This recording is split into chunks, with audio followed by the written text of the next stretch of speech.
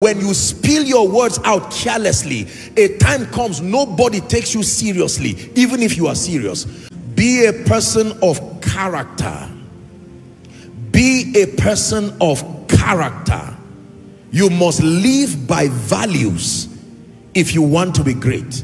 There is no great person I know, sustainably, genuinely great, who downplayed the relevance of character be a man or a woman of character. Proverbs 25 and verse 28 please give it to us quickly. 25 28 proverbs. He that had no rule over his own spirit is like a city that is broken down and without walls. Let me tell you this. You must be able to have control over your words.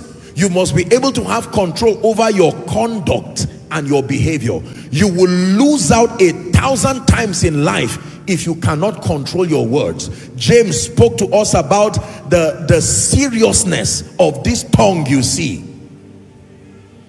There are many people who close the gates of their destiny because of careless use of words. They said things that should not be said and it went round and got to the ears of their helpers and those doors became shut how about your conduct? Protocol is the expected behavior in any environment. Let me repeat that again. That protocol is the expected behavior in any environment. There is a way to behave and don't say it does not matter. There are many people who don't behave well. You go to an occasion the organizers have not eaten. You are the first. You just put your hand and say am i allowed to touch everything? You touch both the ones that are for you and the ones that are not for you. Bad behavior. And while people were praying you were praying they were already admiring you for your spirituality. And you rubbish that that thing in at the table. What demons could not do bad behavior has now done. You see that now? Are we learning?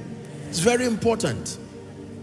Be a person of character a person of character be disciplined be diligent restrain yourself know when to speak. Don't cheapen your words. No let your words carry your words are valuable. When you spill your words out carelessly a time comes nobody takes you seriously even if you are serious.